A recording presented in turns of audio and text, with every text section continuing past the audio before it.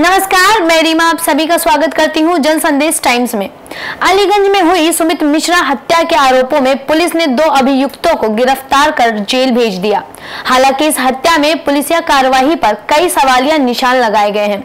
जन संदेश टाइम्स में इस समय हम आपके सामने एक ऐसे गवाह को लेकर आए हैं, जिसने कैमरे के सामने उपस्थित होकर बताया कि सुमित मिश्रा की हत्या किसने और क्यों की।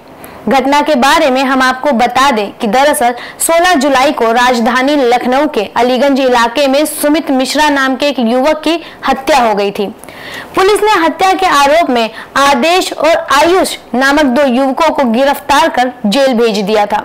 दोनों युवकों के घर वालों ने साक्ष के साथ बताया था कि किस तरह से सुमित मिश्रा की हत्या आदेश और आयुष ने नहीं, बल्कि स्वयं पुलिस के डंडों और लातों से मारकर की गई थी। आज हम आपको दिखाएँगे कि कैसे मृतक सुमित की पत्नी ने कैमरे के सामने आकर इस पूरे घटनाक्रम से पर्दा उठाया।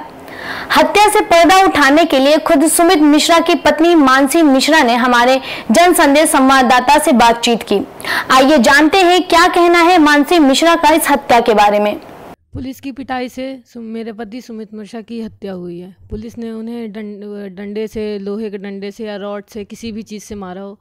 मेरे भाई, मेरे सुमित मिश्रा का सामना मेरे भाई से हुआ। वो आया था खुद मेरे भाई को मारने। आदर्श उस जीतू के घर के सामने। वो रोज़ आता था मतलब वहाँ पे रोज़ चक्कर लगाता था रोज़ आता था अपने मामा के लड़के के साथ।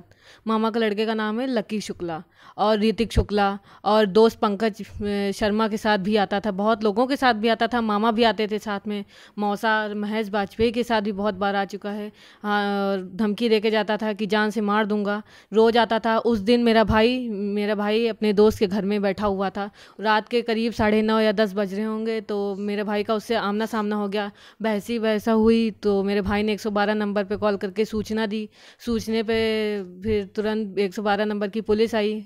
पुलिस आने के फिर पुलिस ने उसे डंडों से मतलब लात घूसे से और डंडों से उसके दोस्त को उसके बेरहमी से मारा पीटा। और फिर उसके बाद पंद्रह मिनट बाद पुलिस की जीप आई जिसमें S H O Pannalal Yadav थे और बाकी अन्य लोग पुलिसकर्मी मौजूद थे। फिर वहाँ पे जो घटना हुई मतलब उसको मारा पीटा बुरी तरीके से। फिर मतलब मेरे भाई लोग सामने ही मौजूद थे। सब लोग सा, साथ मतलब सामने ही मौजूद थे। बुरी तरीके से मारा पीटा और जब वो मरने की हालत पे आ गया तो पुलिस वालों ने मेरे भाई को कोतवाली छोड़ दिया। मेरे भाई को मेरे दोस्त को अ, मेरे भाई के दोस्त को कोतवाली छोड़ दिया। कोतवाली छोड़ने के बाद उसको अस्पताल लेके गए। और अस्पताल में अस्पताल के पहले उसकी मृत्यु हो चुकी थी। बट uh, मेरे भाई को दोषी ठहराने मेरे भाई को और मेरे भाई के दोस्त को दोषी ठहराने के लिए वो uh, कि अस्पताल लेके जाएँ जिसमें वो नाम उनके ऊपर ना आ सके। और फिर उसके पर उन्होंने सारा दोष मेरे भाई के ऊपर मर दिया, भाई के ऊपर और भाई के दोस्त के ऊपर मर दिया कि हत्या की हत्या इन्होंने ही की है। लेकिन सच बात यह है कि पुलिस की पिटाई से उसकी मौत हो गई है, जिसमें वीडियो साच है वीडियो साच है जो वायरल हो रहा है इस समय वीडियो, यूट्यूब पे, इंटरनेट पे सब जगह। आप वीडियो में देख सकते हैं कि वह पुलिस किस तरह से उसको बुरी तरीके से मार रही है, पीट रही है। और ला, और दूसरे, उसके दोस्त को पंकज शर्मा जो है, उसको भी लात घूसों से मार पीट रही है।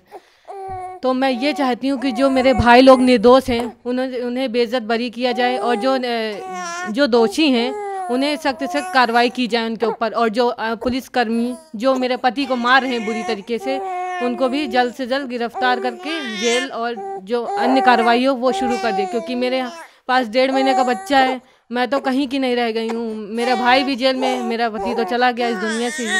अब मैं क्या करूँ? किसका सहारा लूँ? मैं मुख मैं मुख्यमंत्री जी से अपील कर रही हूँ कि मेरे भाई जो निर्दोष हैं, उन्हें बेइज्जत बरी किया जाए। मुझे मुआवजा भी मिले और जो निर्दोष हैं, उन्हें बेइज्जत बरी किया जाए। जो दोषी हैं, वीडियो में साफ़ साफ़ दिखाई पड़ रहा है कि पुलिस किस तरह उसको बेरहमी से मार रही है और उसके दोस्त पंकज शर्मा को भी मार रही है। साथ में मेरे भाई ने तो 112 नंबर पे कॉल करके सूचना दी, क्योंकि वो अपने साथ कट्टा भी लाया था। मेरे भाई को मारने के लिए, जान से मार मारने के लिए आया आया था, लेकिन मेरे भाई ने अच्छा ही कि 112 नंबर पुलिस को कॉल करके उसको बुलाया, लेकिन पुलिस वालों ने उल्टा कर दिया, उसको मतलब बेरहमी से मार पीट रहे हैं, उसको इस तरह मारा कि उसकी जान ही चली गई।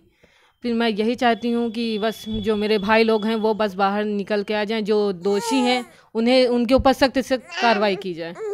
तो ये थी मानसी मिश्रा, जो बता रही थी कि किस तरह से पुलिस ने खुद उनके पति सुमित मिश्रा की बेरहमी से डंडे मारकर हत्या की।